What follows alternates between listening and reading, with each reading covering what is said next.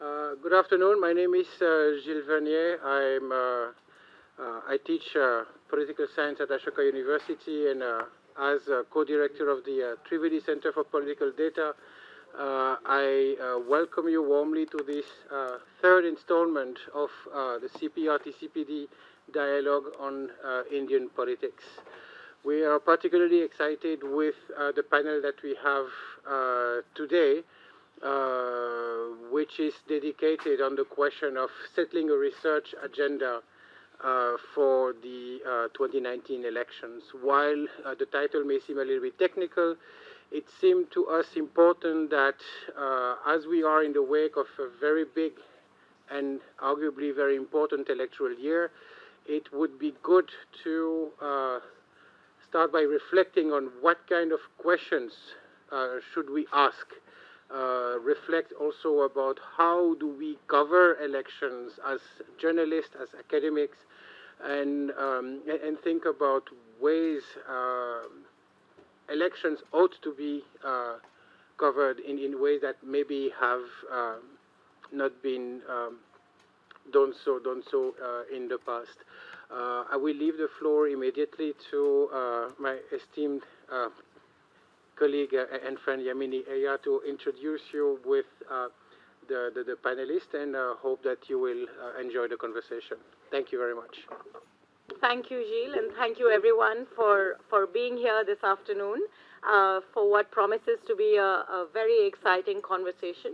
Uh, just uh, a, a, little bit of background to, to, to, take forward what Gilles said, both about the series and today's discussion one of the re uh, reasons we uh, sort of came together to to start thinking about a series like this is that we also felt that especially in the last few years and perhaps more in the last year public discourse on politics has reached a point where it's so deeply polarized that any serious, nuanced conversation that in fact goes behind the, the, the rhetoric and tries to understand what is going on in India has become almost impossible. And likely over the next few months, it's going to get uglier and sharper. Um, and yet, India is going through what seems to be a, a rapid and critical transformation uh, both uh, uh, in terms of its society and naturally our politics is a reflection of that. Yet every time we talk about uh, where we are today, we tend to uh, we tend to find that public debate pushes you into categories. You're either with us or against us, national or anti-national, left or right. Uh, whereas what we really need is a more careful understanding of what is happening, and sometimes that understanding also requires us to go back in history. And so we felt that a space uh, like this is important and crucial, especially in the run up to the elections, where we can bring together observers, practitioners, researchers, participants in the political process to, uh, to talk about topical, critical political issues that face the country and which will be at the forefront of the public debate as we head into the whirlwind of the elections. Today's discussion has particularly been uh, thought from the perspective of how a group like ours and, and many of you, all of you in this room who study Indian politics, who report on Indian politics, uh, can really begin to start interpreting what's going to happen in the next six, six months to a year. To ask ourselves what are the kinds of questions that we should have at the back of our minds as we cut through the noise to interpret what is happening on the ground and, and think about and interpret elections. Also, I might add that I think sometimes political scientists have increasingly become quantitative data specialists. So you get a lot of data with a lot, very little explanation of what goes lies beneath that data. So we also hope that a discussion like this will get us will get us really to the heart of what the study of politics is about, about party structures, about forms of mobilization, and about how the transitions and changes of society get reflected in these, and ultimately what that means then for the kinds of uh, outcomes you see in elections. I'm really, really delighted and particularly honored uh, to uh, be able to, to, have with me such a fantastic panel. And it's a real privilege for me to, uh, to be ho hosting all of you in my new capacity as president of CPR. I don't think we've met here um, in this capacity. So, I, uh, so this is a particularly special moment from, for me. Uh, none of my panelists need much introduction, but, uh, but we'll go through that motion in any case. On my right is uh, Professor Ashutosh Varshney, who's the Sol Goldman Professor of International Studies and, and, uh, and Social Sciences and Professor of Political Science in Brown University. He's also one of the most careful and nuanced commentators uh, um, in the public space on, uh, on contemporary political affairs today. On my left here is uh, Aditi Phadnis, who is the political editor of the Business Standard and has set the gold standard, I think, for how one should be thinking about political reporting. Um, and even in our conversation preceding uh, this panel discussion, in the 20 minutes we spoke on the phone, I learned so much more from her about what's happening. And further to the left is Professor Pradeep Chhibber, who's professor uh, and Indo-American Community Chair in India Studies and director of the in Institute of International Studies at the University of California, Berkeley. Professor Chhibber too has been, uh, uh, you know, one of the few political scientists who've been using a lot of data to really get us to understand party structures and forms of mobilization. And his latest book that was discussed two day, uh, day before yesterday, I think, uh, uh, has a lot of important insights, which I think will contribute a lot to how we look forward uh, into the 2019 election. So let me begin uh, by uh, uh asking Ashu to uh, sort of set the frame for the conversation. Ashu is going to go back a little bit into history and uh, also bring br bring the sort of roots of democratic theory into the conversation for us to start thinking about what our research agenda should look like. Over to you. thanks, Yamini. Always a pleasure to be here at CPR. And uh, my task is not to focus um, especially on 2019 elections and its, uh, its details, but to, uh, I've been asked to present India in a comparative, historical, theoretical perspective. So um, a very large proportion of my profession uh, deals with democracy, and therefore there is a whole body of literature on what um, uh, theoretical literature on uh, what is a democracy, what is a good democracy, what is a not so deep democracy, etc. And on that, uh, and I will be presenting India in that light, and the uh, basic argument, as is summarized here, India is electorally vibrant, but India is not a very uh, robust uh, liberal democracy. So let's get to what elements of modern democratic theory are relevant to discussion of India and here is, uh, there are two kinds of requirements right away which we should keep in mind. The minimum requirement is electoral and it's defined as uh, contestation and participation, essentially meaning that uh, uh, incumbent governments, which have a lot of power, should be freely contested in elections by opposition uh, parties. And the participation, which is franchise, franchise should be universal. No one should be excluded on the ground of gender, caste, race, etc. So that's the minimum requirement. There's a broader requirement that takes democracy from the electoral dimension to, to the non-electoral dimensions, and that's summed up typically as liberal freedoms between elections.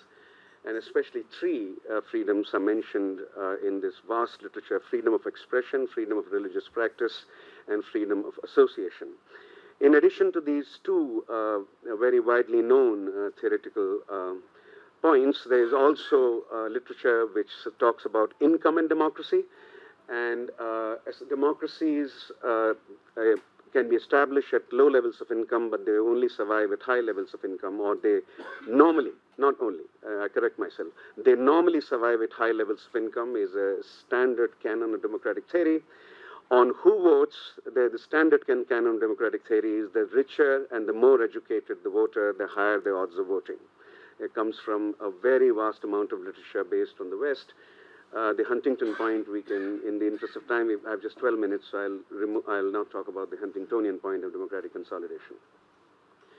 So here is some basic data. Most of you would know this, uh, but it's worth summarizing about India's electoral vibrancy since 1952, 16 national elections, 366 state elections.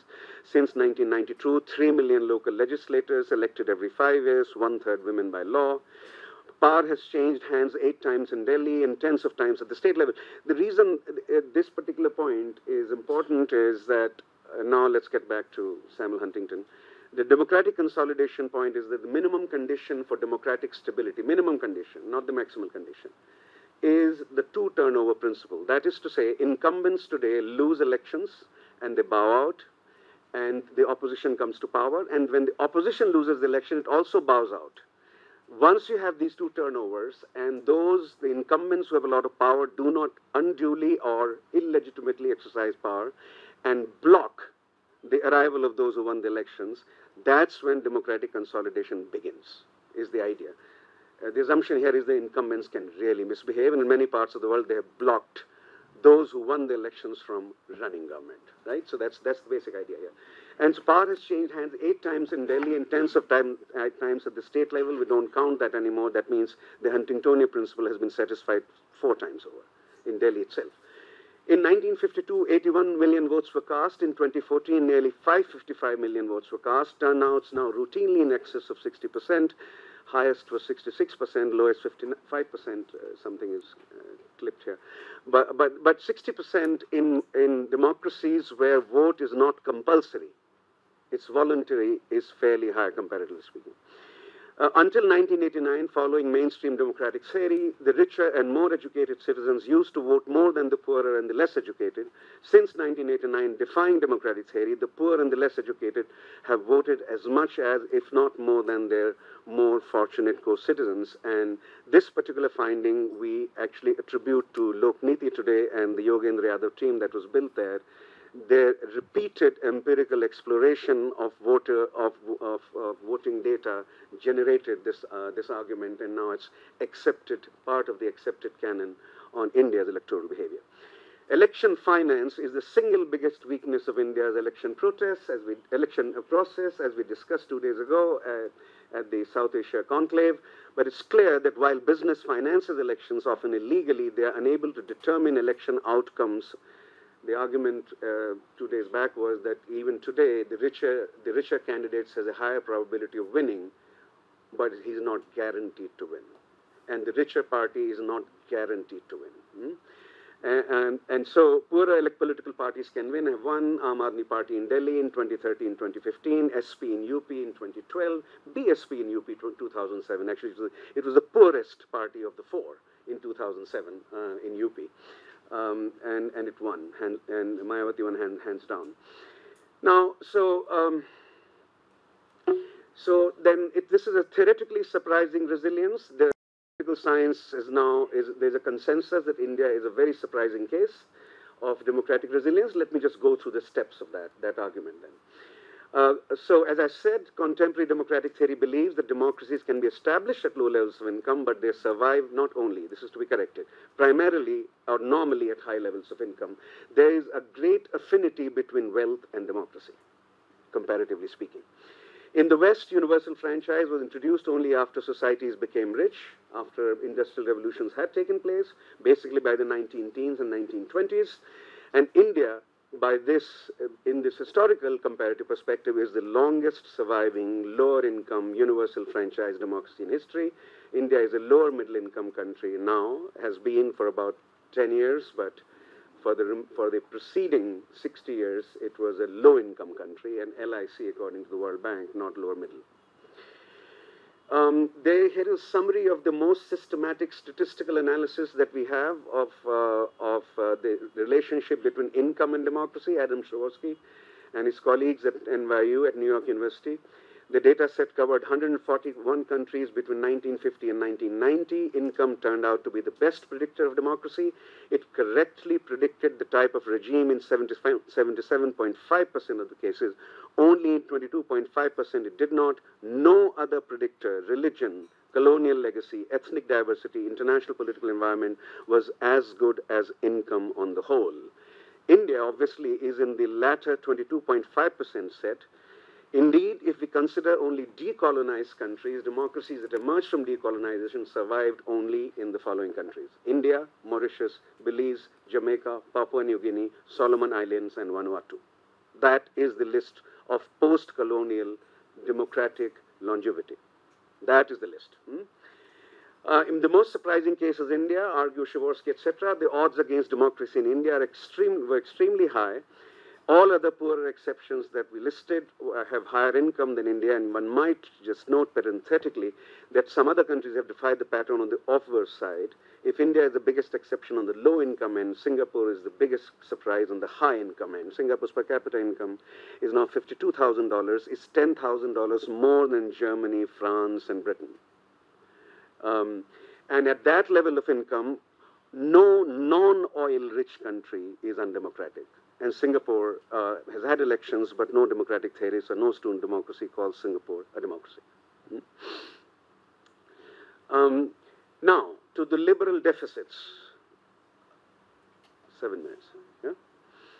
Now, there's vast literature on on what the liberal side of democracy, that's the electoral side that we've summarized, what the liberal side of democracy is.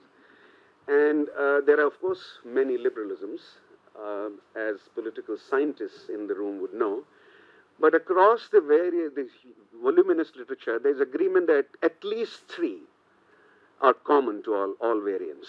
One is freedom of expression between elections, including elections, but also between elections, freedom of religious practice, and freedom of associations. And these three freedoms are typically enshrined in constitution and laws, and they lead to limited government. The elected government is not free to do anything it wants. It's constitutionally constrained, and the constraints, these three freedoms constrain it through constitutional means. So these freedoms are especially important, as we know, for democracy between elections. We know that, but why might that be? So why are they important between elections? Once the thresholds of contestation and participation, that is the electoral dimension, are satisfied, a democracy can attain higher quality, or to use Robert Dahl, the most famous democratic theory, theorist of democracy after the Second World War, it can become deeper. If liberal freedoms between elections are available, that is to say, if citizens are free to speak, free to associate, and free to practice their faith. Thus, we cannot have a democracy without free elections, but a democracy would be deeper if non electoral dimensions of freedom, not simply free vote, were also made available. Uh, India's record on these freedoms is not as strong as the electoral record. Liberal freedoms, though not absent, appear not to be robustly anchored. Threats repeatedly appear, especially true at the present time. So let's summarize that in the next three minutes. Um, India is freest at the time of elections. Short of inciting violence, virtually any argument can be made in election campaigns. And um, uh, Chief Election Commissioner is former Chief Election Commissioner is here. He can testify that the only on, speech, can, unless it incites violence, any form of speech that that that uh, politicians use is fine, unless it incites violence. Hmm? But once an elected government takes over, restrictions on basic liberal liberties are often placed. Intellectuals, writers, artists, students, NGOs can face harassment on grounds that they hurt the sentiments of certain groups or undermine national interest. In a multi religious society which has also had a deeply hierarchical system for centuries, some group or the other can always claim to be hurt. And when group injury is claimed, governments rarely support the writer, rarely support the intellectual, rarely support the artist, rarely support the NGO. This is actually a generic problem. It's common to all kinds of government. Rushdie's satanic verses are banned by the Congress Party because of Muslim rights protest. Also under Congress Party, M.F. Husain, a leading painter, had to migrate because of Hindu right protest. But these problems become especially serious when Hindu nationalists come to power, as is true today, because of two things. Minorities get automatically added to the list of targets, not simply writers and artists. A Hindu centric view of the nation leads to that. India for Hindu nationalists is a Hindu nation, which is a fundamentally unconstitutional idea. It's not supported by the Constitution of India. And second, a muscular nationalism threatening to exclude dissenters also comes into being, which leads to not, on, not only attacks on minorities, but also attacks on liberal critics and dissenters. Hmm? So there, there is twofold threat that emerges, which is which which won't when the when non, when Hindu nationalists are not in power, when other groups are in power. Hindu nationalists bring two additional dimensions to to to the working of of. Now there's an argument about why Hindu nationalism is illiberal. We can leave this out. We can we don't have time the, the, uh, the, the, the, new point that is emerging, which is populism, the, the Hindu nationalism of uh, Atal Bihari Vajpayee regime was not fundamentally populist. Yes, there was vigilante action against uh, priests and Christian priests, Christian church, church, uh, one church at least, I think two, in Odisha, etc. Uh, but uh, but uh, the Hindu nationalism of of NDA since 2014 has a populist variety, has a populist tone to it. So we need to think about briefly what are what is populism, what are the key ideas. So the key ideas are democracy is primarily about elections, if not entirely. The customary institutions of oversight, the judiciary, the press, the intelligence agencies, which normally constrain democratic governments between elections, must follow electoral verdicts, not the law or the institutionally assigned roles. They equate uh, electoral majorities with popular will, they infuse it with moral fervor. This is not simply true of what's happening here. It's true of Viktor Orban. It's, it's true of Erdogan. It's true of Trump's populism. Um, calling opposition often, uh, opposition to electoral majority, immoral, malevolent, anti-national, anti-this, etc. Hmm? Some leaders, this is a very important point of populism, authentically represent the people and the masses, while others are corrupt and moral crooks to be tamed by the state and mass, mass hysteria which essentially means vigilantism often goes along with populism. And we can discuss this about the, uh, its implications of this uh, in India. Why vigilantism, first of all, why vigilantism goes along with populism, uh, generally speaking, and what are its specific Indian manifestations. Um, here is uh, a very interesting quote by Ram Madhav. About, I wrote against that in my column. Ram Madhav, in his column on 15th August last year, wrote, uh, summed up Modi's appeal thus The mob, the humble people of the country are behind Modi. They're enjoying it, unquote. And here is the point that comes from democratic theory. A populist can celebrate mob rule, but a Democrat cannot. He knows that mobs are not always right. Untouchability was popular in India, as was lynching of blacks in American South. That is why all modern democracies constrain mob sentiments with constitutions and laws. A conflation of mobs and democracy only leads to frequent vigilante violence or an emasculation of civil society and a weakening of law based governance. And this is why populist democracy can be called populist democracy, but it's not constitutionally derived or liberal democracy. That would be the, the big difference. You can change the constitution, and then you can say if the constitution becomes populist, then it's also constitutionally derived. Right? So to summarize, then. India's democratic credentials are not in doubt. At India's level of income, no democracy has ever survived for seven decades. But India has done much better as an electoral democracy, substantially less well as a liberal democracy. India's record as a liberal democracy plunges to dangerous levels when Hindu nationalism comes to power and it takes a majoritarian populist form. The latter begins severely to erode the constitutional liberal protections for citizens, especially the protections provided by constitutions, liberal constitutions to minorities. Thank you.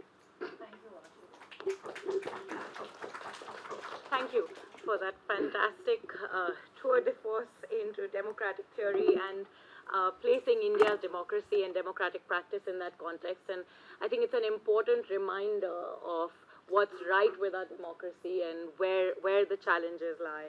Um, uh, Pradeep, can I turn to you now? Uh, you know, you, you made the powerful point about the role of ideology in, uh, in, in, forms of party mobilization and voter behavior. Um, and I think linking it back to one of the more uh, the points that Ashu made about the changing nature of Hindu nationalism and the populism uh, the, the populist characteristic of Modi's uh, uh, uh, notion of Hindu nationalism. How has that evolution taken place? What are its implications? You know, how, how does one trace this back to shifting social structures, party behaviors, and what what should that mean for us as we look forward into 2019? thank you much. I, thank you for calling me. I've never been to CPR before, so this is the first. Yeah, so there we are. So thank you. You may not call me again after I'm done, so that's, you know, that'll be even better. I actually uh, misunderstood the brief a tad, so my apologies. I thought the brief was to actually figure out what we should do to study the upcoming election. Right? so that's what I focus my attention on a little bit. So if I may indulge you a little bit, I'm going to talk a little bit about that, and then time permitted, we can talk about the role of ideology. And I'm a boring empirical political scientist. I'm go from the sublime to the ridiculous. And as Niels Bohr said many days ago, science progresses one funeral at a time. So once Ashu and I are dead, right, maybe there'll be some progress once Priyam and, you know, Gilles have taken over. But until then, I guess we'll have to wait, Ashu, I'm sorry. But my concern with Indian elections is very different. As an empiricist, I'm going to say things that may surprise you is, I think there is so much we don't know. It is amazing how much we do not know. And for me, it's more important what we don't know. And it's important for us to understand what we don't know because we talk a lot, we say a lot of things, but there are many things we have, to some empirical standards, we have no assessment. And I'll talk about what those things are. But before I do that, let me begin by saying what are the things we know. You know, makes start news, and I'll get to the bad news first. What do we know? I think we know one thing. There is robust two-party competition at the local level. In fact, it may surprise you to know there are very few strongholds in Indian elections. And in fact, two-party competition is quite robust at the village level. We have data for about 400,000 polling stations. That turns out to be remarkably true for many of them. So that's the first thing. It also, if you just think about it for a moment, just a brief moment, that also means that unless the villages are divided into two castes, you need to build multi-caste coalitions starting from the ground up. And if you need to start building multi-caste coalitions starting from the ground up, you need to think about how people are going to build those coalitions. Okay? And those coalitions are not necessarily built around these vast, large categories of OBC, Dalit, you know, upper caste. That's not how it works, but that's how we like to present it. That's the first thing. Second thing we know is that there is turnover. There is turnover among politicians, there is turnover among candidates. And the third thing we know, these are things we know, and the list of things we don't know is very long. The third thing we know is that there is robust party democracy, which means party labels matter. Individual candidates, qua individuals, no longer win elections. It's extremely difficult. That number has plummeted. So there are these are the three things we know. And frankly, that's all we know. Right? What is it that we don't know? And let me just talk about a few things we don't know and things I think we should think about, and I'll say how we think we can do it. So, first thing we don't know is we don't know why people turn out to vote. We have no idea. Mukulika Banerjee has a book, and people have random spattering arguments here or there. I have no reason, I do not know why people turn out to vote. Who is turning out, in what percentages, and why? We can give some numbers, we can give some estimates, but we don't know why. And those of you who've seen Newton will start asking yourself, is that the reason why people vote? Right? But I do not know why people turn out to vote, and I think that's a really, really important question for us to ask. For instance, we do not know why women are voting in, in greater numbers. I can give you five hypotheses, all of them untested. We do not know this. Right? We, we have no idea. So that's the uh, first thing we don't know. Second thing we don't know is once people have turned out to vote, who they're voting for, right? So, does the campaign actually make a difference? Do we know? Can we provide me any estimates or any sense of saying, okay, if I say this or if I say that or if I do this or if I do that, it's going to increase my vote share? I don't know. And frankly, Indian politicians don't. The only thing they know is that they're surprised when they win and they're surprised when they lose because they have no idea what's going on. Seriously. I, we, we have no idea for victory and loss. So if they don't know, right, I think we need to figure out what's going on here. The, does the campaign actually make a difference? And if it does, how does it make a difference? Where does it make a difference? What, what kind of campaign messages are going to work? What kind of appeals are going to work? And what kind of appeals are going to work in what area? Right? I've frankly, I've not seen any good systematic work on this. So we don't know what the campaign effects are, right? Everybody's spending a lot of money on campaign, lots of ads, lots of TV, lots of, you know, what, what are these things called in newspapers? These uh, paid, news. paid news, right? All kinds of things. But we don't know if it makes a difference at all. The third thing we don't know is, does leadership make a difference? Does it actually matter who the leader is? There is some argument, yes, it does matter. We have some, some clues. But why does leadership make a difference? Does leadership make a difference because somebody is charismatic? Does leadership make a difference because somebody is ideological? Does leadership make a difference because somebody is just the big man? Right? We don't know. Or does, or does it make a difference? Does leadership make a difference because this person is actually on the grassroots working as a social activist people and can bring people together who are poor? We don't know. So, for instance, everybody talks about leadership, everybody talks about the Modi effect, the Rahul Gandhi effect, the Indira Gandhi effect, the Jawaharlal Nehru effect, right? But we don't know if it makes a difference and how much difference does it make. If I took this guy away, would the election have been the same? I don't know. We can guess.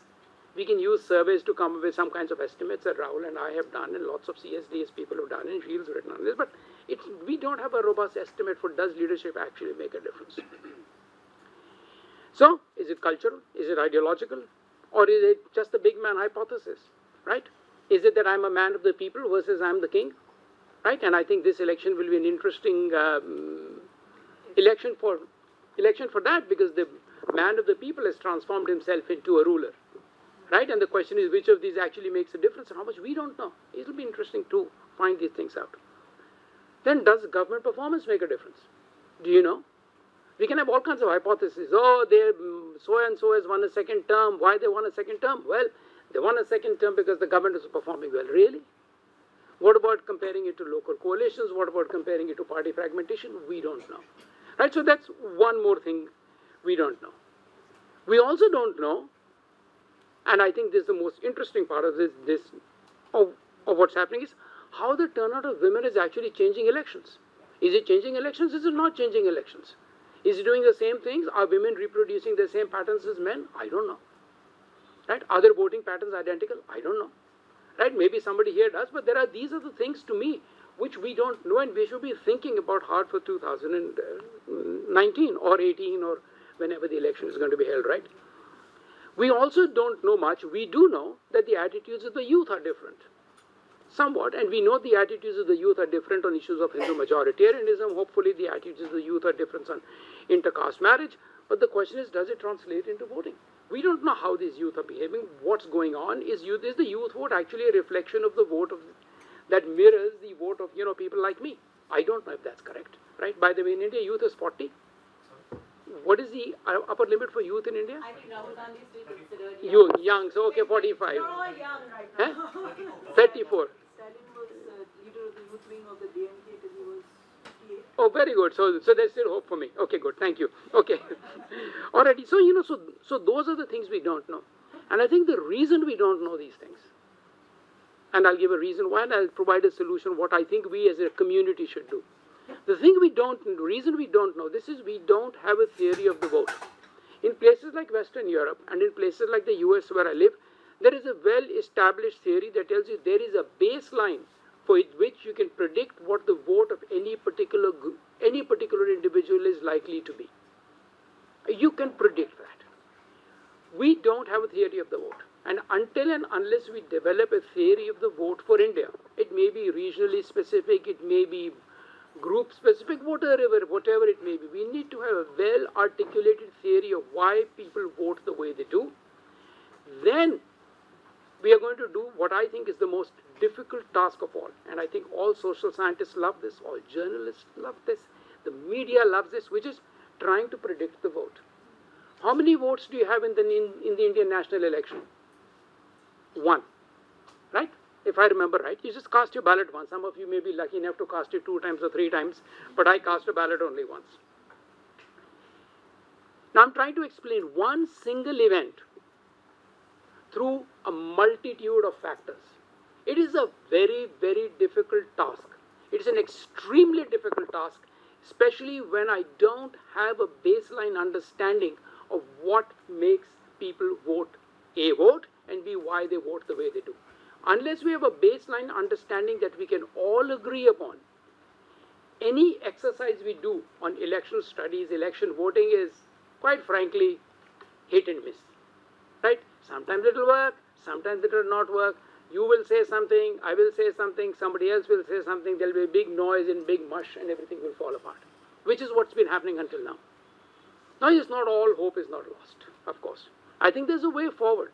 And the way forward is very simple, and I'm going to put pressure on CPR and TD, what's the, what's the acronym?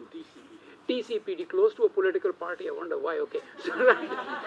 So, so, so TCPD and CPR, I actually think what we need to do, and this I think should be done in some ways, is the reason we have a theory of the vote in Europe, the reason we have a theory of the vote in the US is there are common data sets that people and the intellectual community can share.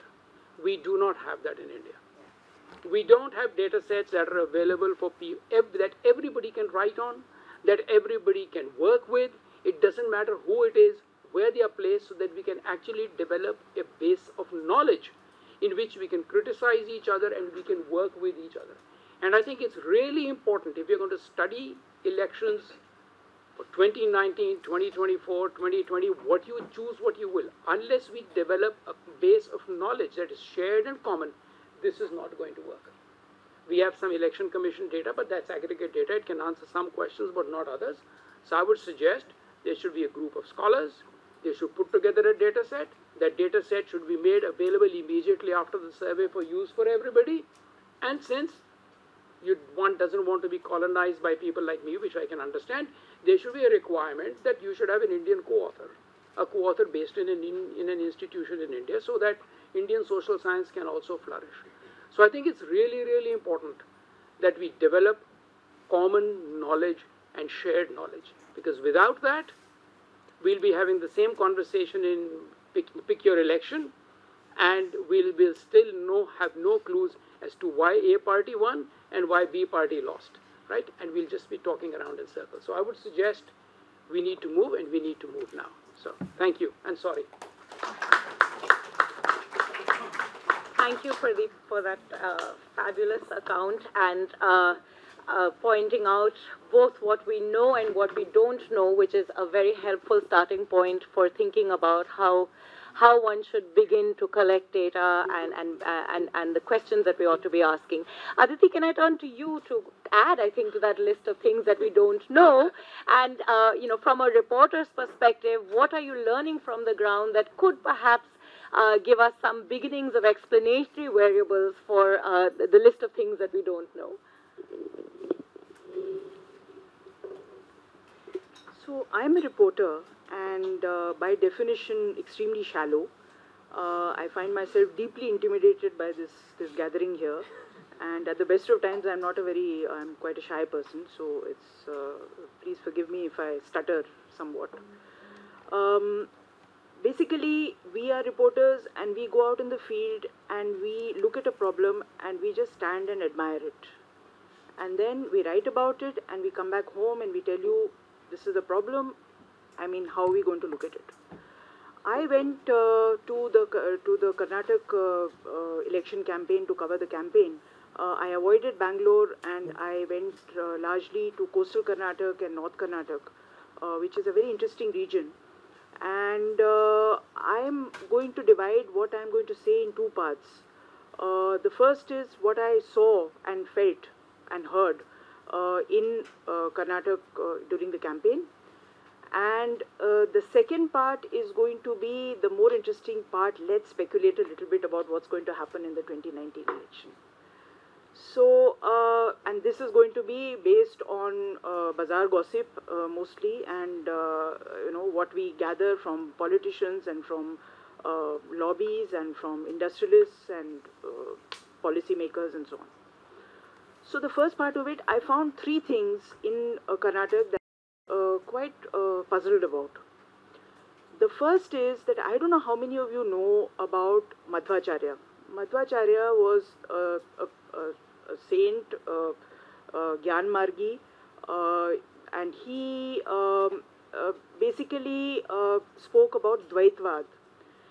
More than that, he established the Ashtamargi, they're Krishna worshippers, so they he established the Ashtamargi eight points of uh, worship in Karnataka, uh, Puttige, in Pejawar, and so on. these eight later on, during our time, became important centers of social assertion, of uh, political influence. Uh, the Pejavar Swami, for instance, uh, was one of the founder members of the Vishwa Hindu Parishad. He's a very influential person uh, and also enormous amounts of land and money and so on. Uh, not the least of it fueled by diaspora and you know various uh, techies who've gone to Karnataka but are who've gone to the US but are uh, Madhvas. Uh, so the way the religious um, rituals are conducted in the Udupi temple in, uh, in uh, you know the Krishna temple in Udupi, which is the center of Madhvacharya's thinking and Dvaitvad, uh, is done by rotation among eight uh, different mutts. And these rituals have been have been evolving over a period of time, and they are uh, typically fairly. Um, I mean, they are derived from the scriptures and from Hindu traditions, etc. Now, uh, the last Pejavar Swami, who was just uh, given the, it's called Paryay, the, the conduct of ritual is called Paryay. The last Pejavar Swami is a guy, uh, 83 years old, uh, called Swami Vishwesh Tirtha. And uh, he is an extremely charismatic character. He came to Delhi and he called on Modi days after Modi was elected Modi promised to visit there, and he, uh, you know, they are they were in touch very closely in the run-up to the 2014 election. And uh, so he's a he's very much in the thick of things. He speaks half a dozen Indian languages, speaks beautiful English and beautiful Hindi, and is a great uh, aficionado of uh, crime fiction. So that should give you an idea. He also hosted an iftar in the precincts of the Krishna temple and has done some pretty radical, taken some pretty radical steps to uh, do uh, to allow Dalit entry into the temple. Dalits are allowed, of course, but they are fed separately from the Brahmins. So uh, he's quite an engaging uh, person, but very political and frankly quite devious also.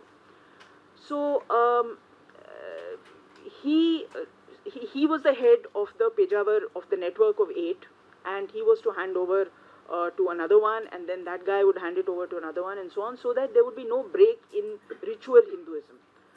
Uh, he had a deputy, and the deputy's name was Vishwavijay, Swami Vishwavijay Tirth.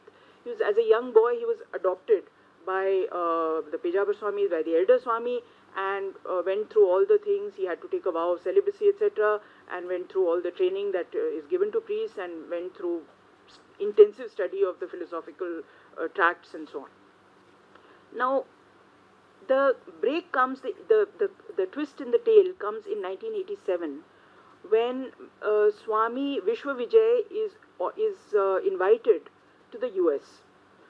Now, rituals according to um, according to this this this sect, uh, anyone who goes abroad crosses the seven seas. It's called Sagar Ullangana. Anyone who crosses the seven seas is debarred from taking on the rituals because God knows, you know, you may have tried, uh, I don't know, Chateaubriand, thinking it's uh, soya bean. So, uh, yeah. So, uh, so you really don't know what you've been up to. So they uh, are uh, quite careful and they, they follow this quite strictly. The Swamiji, who is the dissenter, told me that he took permission from the entire pantheon of all the eight to go on this foreign sojourn. He spent four months in the U- US. I asked him how he enjoyed himself. He said uh, uh, it was uh, very interesting, and I went to Las Vegas and did some gambling also. So, gambling. So um, now uh, he's also quite an interesting and quite a uh, quite a captivating character actually, quite a naughty person. Um, so uh, so anyway, he uh, when he when the others found out that he has done this, he has gone abroad, then they turned. And they said, sorry, you've gone Sagar Ullangana, you've crossed the seas, so you cannot become the next Pejavar Swami. This Swami was not going down without a fight and we must remember that uh, Vishwesh and this whole this whole sect, this whole group of eight, uh, was very active during the emergency. They stood up against Indira Gandhi and they stood up for you know uh, they stood up against the muzzling of the press. So uh, this man said that look, this is wrong. I took your permission and I have violated no sacred uh, whatever it is. I did puja. I don't know how many other times they do it and uh, so he said, Sorry, I am going to be the next uh, Pejavar Swami, and if not, then I am going to let the cat out of the bag. Which he did by filing a case in the district court of Udupi. First, no lawyer would take his case. Then he finally, quite a resilient guy, he went to a lawyer who was somewhere else outside because the pressure of uh, peer group and you know elite and all that is quite tough. So he decided that he would. The, a lawyer finally took his case, and when I met the lawyer, he told me that he was being. He, there was a lot of pressure on him, but he was being faithful to his profession. Hats off to him. So then uh, the case was that there should be, uh, according to laws, extant laws, Constitution of India, what the Constitution allows you to do and not do. The, there should be codification of the way uh, succession is managed in these temples. And this was, I mean, there was consternation in that place because typically the uh, managers of the estate properties, of, and they are considerable, they are quite large, uh, is the mama or the chacha or the cousin of the Swamiji.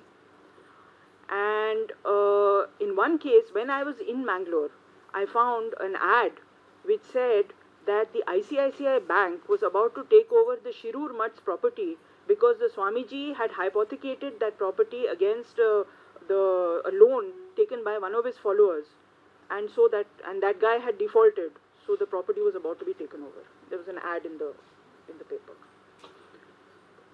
So now all this is going on, and uh, this seems to be a, a major revolution.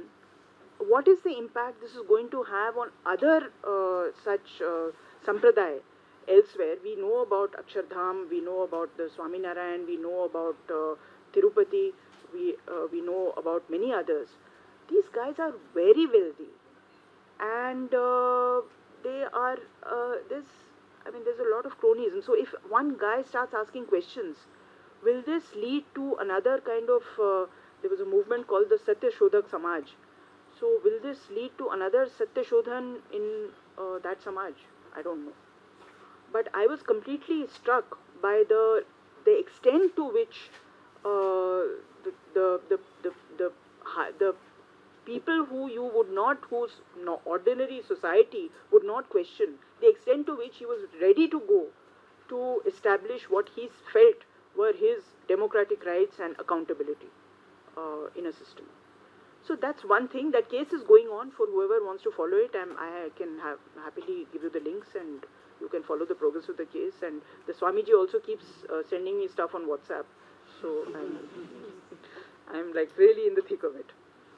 Um, the second thing that confused me was uh, uh, Hubli, which is actually the granary of Karnataka, uh, and has this fabulous soil. It's black, you can see it. It's it's beautiful soil, but has been going through a drought for the last two years.